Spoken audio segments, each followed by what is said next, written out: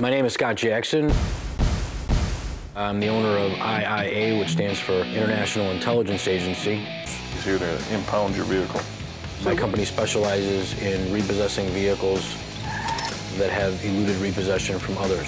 Hey, Don't talk to me like I'm a train. Okay? We're not your finance company. My fucking my family, okay? I've been shot at six times. I've been chased. Your life is at risk every day. This fucking sucks. I've had knives pulled on me.